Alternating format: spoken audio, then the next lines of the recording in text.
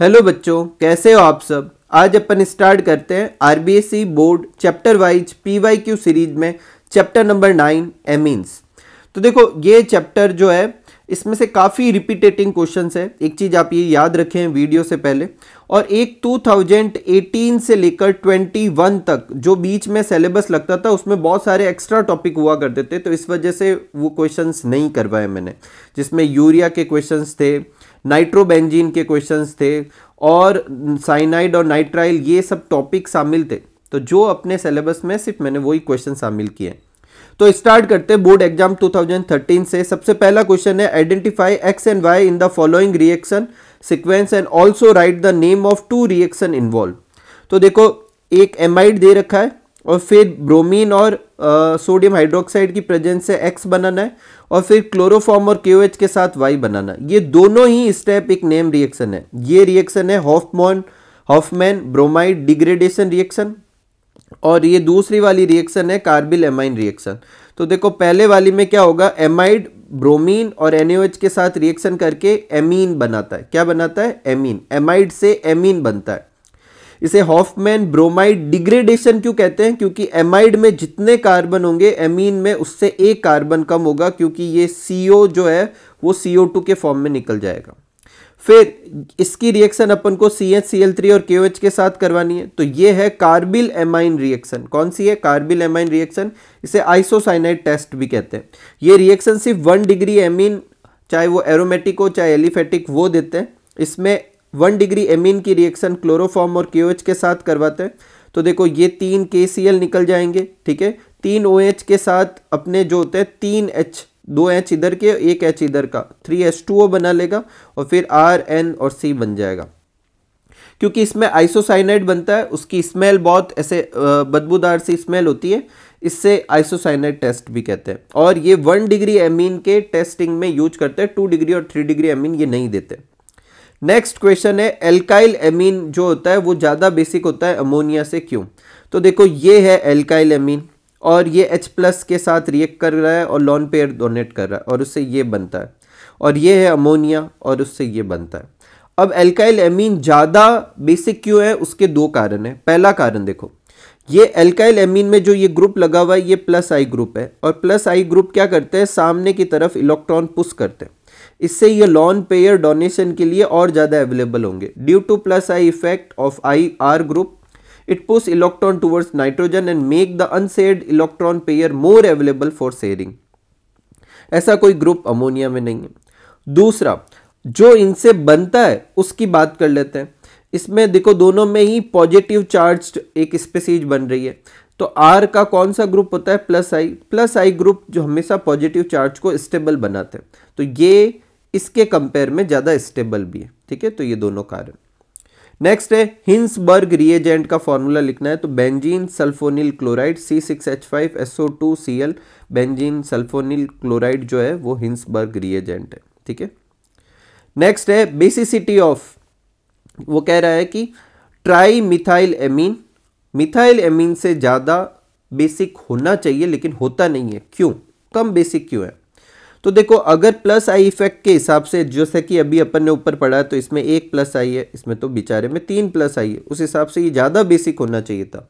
लेकिन एक्चुअल में क्या होता है कि आप ऐसे समझिए कि ये नाइट्रोजन है और यहाँ पर तीन मिथाइल ग्रुप जुड़े हुए हैं। और ये मिथाइल ग्रुप जो होते हैं, वो क्या करते हैं, चारों तरफ़ से इसको कवर कर लेते हैं।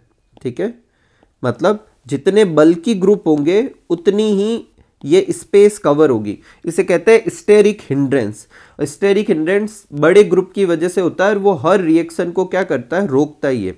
तो due to three bulky group in C S three hall thrice N more steric hindrance occur और it decrease electron donation nature जिसकी वजह से बेसिसिटी घटती है। नेक्स्ट अपने क्वेश्चन है कि C S three C O N S two ये एमाइड कंपाउंड है। उस उसकी गिव्स अ कंपाउंड एक्स वो एक कंपाउंड एक्स देता है कब? जब उसकी रिएक्शन कराई जाती है L I L H four से। अब देखो L I L H four basically क्या होता है? रिड्यूसिंग एजेंट होता है। तो वो क्या करेगा देखो? यहाँ पर एच एच एच देगा तो ये एच टू ओ के फॉर्म में निकल जाएगा और यहाँ दो एच जोड़ देगा। तो C S three C H two N S two बन जाएगा। एमाइड से क्या बन जाएगा? एमीन एक चीज़ याद रखें, हॉफमैन डिग्रेडेशन वाली रिएक्शन में भी एमाइड से एमीन बनता था, इसमें भी बनता है। लेकिन उसमें एमीन एक कम कार्बन की बनता है, इसमें बराबर कार्बन की बनेगा। इसमें दो कार्बन है तो इसमें भी दो कार्बन आगे चलते हैं। फिर which gives a foul smelling compound Y on heating with C H C L three ये अभी अपन ने देखा था एमीन जो होता है C H C L three और के ओ एच के साथ में आइसोसाइनाइड रिएक्शन देता है। तो आइसोसाइनाइड बनेगा जिसकी वजह से। तो कंपाउंड एक्स तो है ये और कंपाउंड वाई है ये। नेक्स्ट है give the equation of diazotisation diazotisation basically benzene diazonium chloride बनाने की रिएक्शन है, जिसमें एनिलीन की रिएक्शन एनिलीन कहते हैं, जिसमें एरोमेटिक एमीन कह सकते हैं, ठीक है? इसकी रिएक्शन एन और टू एच के साथ कराते हैं तो बेंजीन डाइओजोनियम क्लोराइड बनता है। एक चीज़ याद रखें, अगर आपको एग्ज़ाम में कहे कि एनिलीन की रिएक्शन एच के साथ लिखो तो अभी अपन को यही रिएक्शन लिखनी है, क्योंकि एच जो होता है, इन दोनों की रिएक्शन से बनता है, ठीक है? ये याद रखिएगा आप। नेक्स्ट है write the coupling reaction of benzene diazonium chloride with phenol तो देखो कपलिंग रिएक्शन एकदम सिंपल सी होती है, जो बेंजीन डाइओजोनियम क्लोराइड होता है, वो ऐसे एरोमेटिक कंपाउंड के हाइड्रोजन और इसका सी ऐसे निकल जाता है और फिर ये जुड़ जाएगा। कंपाउंड बन जाएगा। तो कपलिक रिएक्शन कहते हैं, एक बेंजिन डायोजोनियम क्लोराइड की फिनॉल के साथ दे रखी है, ऐसी कैसी एनिलीन के साथ भी दे रखी है, उसमें इस तरफ़ NH2 होगा तो इधर एन लग जाएगा, बाकी तो सेम पैटर्न से होता है। इसका नाम क्या है? पैरा हाइड्रोक्सी एजोबेंजिन जो कि ऑरेंज कलर की एक डाई है।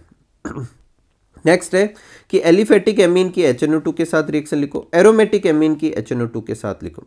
अब देखो एच नाइट्रस एसिड होता है। मैंने अभी बताया एच कभी भी स्टेबल नहीं होता तो उसे जब भी भी रिएक्शन करवानी होती तो आप रिएक्शन किससे कराते हैं? एन और एच के साथ। अब एक बार दोनों से रिएक्शन से सेम तरह की चीज़ें बनती है। इसमें बनता है R N two C L alkyl azonium chloride और इसमें benzene azonium diazonium chloride इसमें एल्काइल डाई एजोनियम क्लोराइड इसमें बेंजीन डाई एजोनियम क्लोराइड लेकिन बेंजीन डाइजोनियम क्लोराइड स्टेबल होता है। तो जब एरोमेटिक एमिन एच के साथ या इसके साथ रिएक्शन देता है तो बेंजीन डाइजोनियम क्लोराइड बनाता है। लेकिन एलिफेटिक एमीन जब देता है तो पहले तो ये बनाता है, लेकिन ये अनस्टेबल होता है। तो ये जल्दी किसमें कन्वर्ट हो जाता है? एल्कोहल में। अगर डायरेक्ट अपन को सिर्फ़ एक ही पूछता कि एमीन की रिएक्शन अपने एच एन ओ टू के साथ रिएक्शन लिखो तो अपन ऐसे भी याद रख सकते हैं। ये एच टू ओ जो एच एन ओ टू में जो होगा, इसको अपन ऐसे याद रख लेते हैं एच ओ एन ओ ठीक है? तो ये एच टू ओ निकल जाएगा, ये फिर एन ओ टू निकल जाएगा, और क्या बन जाएगा? आर ओ एच बन जाएगा। मैंने ये लंबी वाली क्यों लिखी? ताकि ये पता चले कि दोनों सेम पैटर्न से होती है। ये भी बनता है और ये, देखो सेम ही बन रहा है, लेकिन ये अनस्टेबल होने की वजह से आगे हाइड्रोलाइज होकर अल्कोहल दे देता है, जबकि ये नहीं देगा। नेक्स्ट है हॉपमाइन ब्रोमाइड डिग्रेडेशन रिएक्शन ऊपर अपन कर चुके हैं, वही वापस है।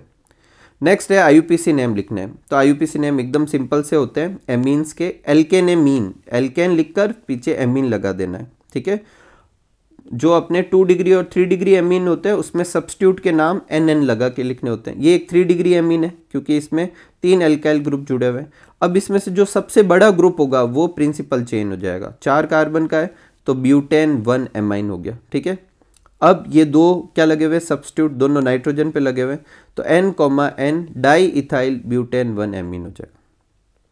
नेक्स्ट है what happen when benzene diazonium chloride react with K I तो एकदम सिंपल सी है बेंजीन डाइजोनियम क्लोराइड लिया के आई के साथ रिएक्शन कराएँगे तो क्या बन जाएगा? आयोडो बेंजीन बन जाएगा, ये के सी एल निकल जाएगा एन टू निकल जाएगा C six H five N बन गया। नेक्स्ट है arrange according to basic nature अपन को इन तीनों को बेसिक नेचर से अरेंज करना है। तो देखो, ये अमोनिया है, ये अपने एल्केनेमीन है, और ये अपने एरोमेटिक एमीन है। अमोनिया में भी नाइट्रोजन पे लॉन पेयर होता है, इसमें भी लॉन पेयर है, इसमें भी लॉन पेयर है। लेकिन एनिलीन के केस में ये लॉन पेयर जो है रिजोनेंस में पार्टिसिपेट करेंगे। इस वजह से कम अवेलेबल हो जाएँगे। और यही वजह है कि एनिलीन अमोनिया के कंपेयर में क्या होती है? कम बेसिक होती है। और एल्केनेमीन में ये ग्रुप कैसा होता है? प्लस आई ग्रुप, जो क्या करता है? इलेक्ट्रॉन को और पुश करता है। तो ज़्यादा अवेलेबिलिटी होगी। तो सबसे ज़्यादा एल्केनेमीन होते हैं। उसके बाद अमोनिया और सबसे कम होती है एरोमेटिक एमीन ऐसे क्वेश्चन में अगर टाइम हो तो आपके पास C six H five N S two का रिजोनेंस भी बना सकते हैं। मैंने आगे किसी क्वेश्चन में बनाया होगा, वहाँ समझा दूँगा। नेक्स्ट है what do you mean by ammonolysis of alkyl halide in chemical reaction. एकदम सिंपल सा, देखो, अमोनिया लेना है, इसकी रिएक्शन एल्काइल हेलाइड से करानी है। तो ये एक एक्स और एक हाइड्रोजन एच एक्स बना लेगा और आर इधर लग जाएगा आर एन एस टू फिर आर एक्स के साथ रिएक्शन करेगी एक एच और एक एक्स निकल जाएगा आर टू एन एच फिर रिएक्ट करेगा आर थ्री एन फिर रिएक्ट करेगा, लेकिन इस बार रिप्लेस तो हो नहीं सकता, क्योंकि एस तो है नहीं तो R four N X quaternary ammonium salt बना देगा, ठीक है? नेक्स्ट है write the reaction which is use for ascent of amine series और to synthesise amine containing carbon one carbon less than amide देखो एसेंट का मतलब होता है, आप जिस एमीन से स्टार्ट करोगे एंड आपको एमीन में ही करना, लेकिन एक कार्बन ज़्यादा। ये करने के लिए देखो, सबसे पहले अपन मिथेन एमीन की एच के साथ रिएक्शन कराएँगे। अभी अपन ने देखा था एल्कोहल बनता है एल्कोहल बन गया। फिर उसकी P C L five S O C L two P C L three किसी के साथ भी करवा के उसे क्लोराइड में बदल दो। ये क्लोरोमीथेन हो गया। फिर के सी एन के साथ रिएक्शन करवाएँगे तो C S three C N बन जाएगा। और फिर साइनाइड का, देखो जैसे ही के सी एन जुड़ता है तो कार्बन एक्स्ट्रा हो गया। एक कार्बन ये, एक और कार्बन आ गया।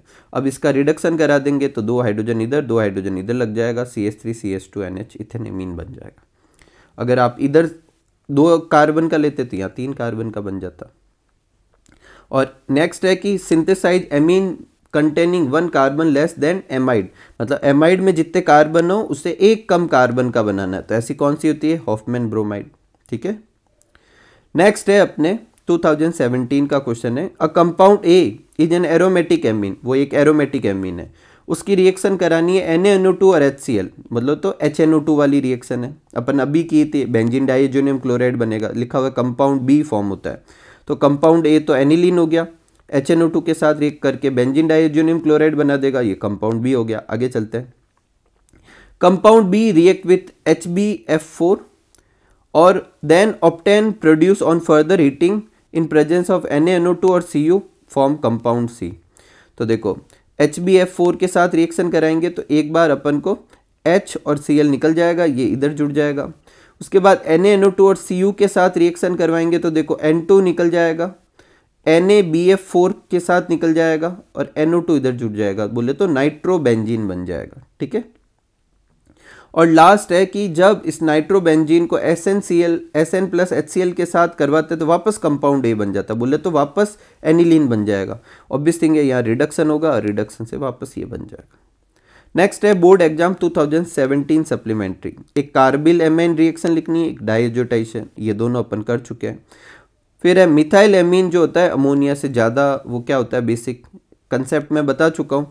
यहाँ पर आर था, ऐसे करके समझाया था, अभी सी एस थ्री लिख देंगे। इसीलिए मैंने वापस लिखा कि एग्ज़ाम में ऐसे थोड़ा बहुत चेंजेज आए तो आप देखो यहाँ आर करके मैंने समझाया था एल्केनेमीन का।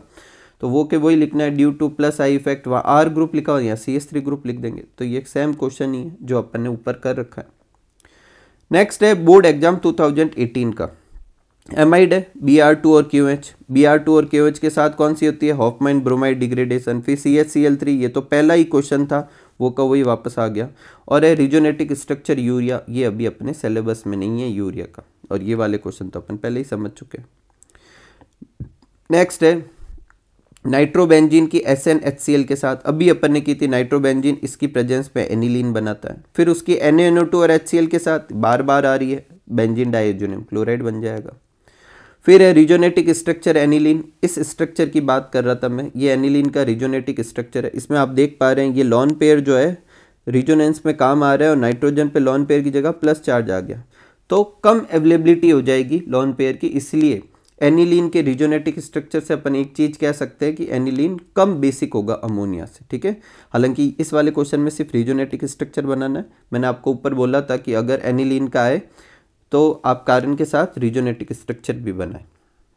नेक्स्ट है arrange the following compound in increasing order of their basicity basicity के हिसाब से अरेंज करना है। तो देखो, सबसे ज़्यादा होगा टू डिग्री फिर हो जाएगा वन डिग्री फिर थ्री डिग्री और फिर क्या हो जाएगा? अमोनिया हो जाएगा। ठीक है? इसका सिक्वेंस ये सी एस थ्री जब आर की जगह सी एस थ्री हो तो ये सिक्वेंस है। आर की जगह जब सी टू एच फाइव होता है तो भी भी आपका सिक्वेंस थोड़ा आगे पीछे होगा। आपकी बुक में दे रखा, आप वो भी याद कर ले। दोनों बहुत ही इंपॉर्टेंट है, ठीक है? नेक्स्ट है amine are more basic than aniline अभी बताया मैंने एमीन एमीन बोले तो एल्केनेमीन उसमें तो आर ग्रुप लगा हुआ है। आर ग्रुप क्या करता है? प्लस आई इफ़ेक्ट होता है तो ज़्यादा अवेलेबल करवाएगा लॉन पेयर जबकि एनिलीन के केस में रिजोनेंस हो जाएगा। रिजोनेंस से क्या होता है? लेस अवेलेबल हो जाएँगे। ठीक है? Board exam 2019 carbylamine reaction लिख चुके अपन। Identify A and B A और बी आइडेंटिफाई करने। अब देखो ए और बी कैसे आइडेंटिफाई करेंगे? C six H five N two C L बोले तो बेंजिन डाइजोनियम क्लोराइड इसकी कॉपर और एन एन टू के साथ रिएक्शन कराएँगे तो क्या बनेगा? नाइट्रोबेंजिन बन जाएगा। और फिर उसकी S N H C L के साथ रिएक्शन कराएँगे तो रिडक्शन होता है, ये अपने कर रखा है एनिलीन बन जाएगा। नेक्स्ट है, इसके अलावा देखो, और कहीं पे कुछ क्वेश्चन हो सकते हैं, जो यूरिया के नाइट्रोबेंजीन और साइनाइड के और भी रिएक्शंस दे रखी थी, उन पे थे तो वो मैंने हटा दिए। हालाँकि एक आधा ही है, लेकिन हटा दी नेक्स्ट है alkyne amine more basic than ammonia कर चुके हैं। और सेकंड क्वेश्चन है नाइट्रोबेंजीन की इसके साथ अभी अपन ने की थी एमीन बनता है एन के साथ बेंजीन डाइजोनियम क्लोराइड देखो ये कितनी बार रिपीट हो रही है रिएक्शंस नेक्स्ट है aniline is less basic than ammonia same है। एनिलीन के केस में रिजोनेंस होता है, जिससे कम अवेलेबल हो जाएँगे, इस कारण से कम बेसिक होगा। एमाइड ब्रोमीन फोर के एच तो कौन सी हो जाएगी ये? हॉफमैन ब्रोमाइड और फिर कार्बिल एमिन रिएक्शन ये तीसरी बार हो गई लगातार, जैसे कि जैसे ही। नेक्स्ट है कार्बिल एमाइन देखो फिर आ गई। तो मैंने वापस नहीं लिखी है। फिर है व्हाट हैपन व्हेन ये वाला क्वेश्चन जो है, इससे एजो बेंजीन बनता है, पर ये अभी अपन सिलेबस में नहीं है और एनिलिन का रिजोनेटिक स्ट्रक्चर अपन बना चुके हैं। एक मैंने यहाँ ऐसे ही, क्योंकि इसमें कोई नहीं था नहीं तो एक एडिशनल क्वेश्चन दे दिया। बेंजिन डाइजोनियम क्लोराइड की रिएक्शन एनिलीन से करवा देते हैं। ये भी एक कपलिंग रिएक्शन है। मैंने बेंजिन डाइजोनियम क्लोराइड और फिनॉल की कपलिंग रिएक्शन अभी ऊपर एक पी वाई क्यू में लिखवाई थी, और ये एनिलीन के साथ, और इससे येलो कलर की डाई बनती है, उससे ऑरेंज कलर की बनती थी। नेक्स्ट है the amine having lowest P K B अब लोवेस्ट का क्या मतलब है? लोवेस्ट पी के बी उसका होगा। देखो, अगर के बी पूछता, तब तो देखो के बी जो होता है, वो बेसिक ऑर्डर के साथ साथ जिसका बेसिसिटी ज़्यादा, उसका के बी भी ज़्यादा। लेकिन पी के बी उल्टे चलते हैं। लोवेस्ट पी के बी उसका आएगा, जो सबसे ज़्यादा बेसिक होगा। तो यहाँ देखो, अपने सीक्वेंस किस किस का दे रखा है? ये सब दे रखे हैं मैंने, ये सीक्वेंस लिख दिया, देखो, ये सब का। इसके साथ एनिलीन भी जोड़ दिया। एनिलीन एरोमेटिक होता तो सबसे कम बेसिक उससे ज़्यादा अमोनिया फिर थ्री डिग्री फिर वन डिग्री और फिर टू डिग्री तो सबसे ज़्यादा बेसिक कौन सा है? टू डिग्री इसका मतलब सबसे कम पी के बी किसका आएगा? इसका ही आएगा, ठीक है? और देखो, ये वाली मैं बात कर रहा था, अगर सी एस थ्री की जगह सी टू एच फाइव होता तो ये ऑर्डर होता, ठीक है? तो ऑर्डर आप याद कर लें, ठीक है? नेक्स्ट है write the hybridization in nitrogen in amine तो एस पी थ्री हाइब्रिडाइजेशन होता है। नेक्स्ट है draw pyramidal shape of trimethylamine ये वाला डायग्राम मैं अपनी बुक में दे रखा है। ये वाला डायग्राम हो गया।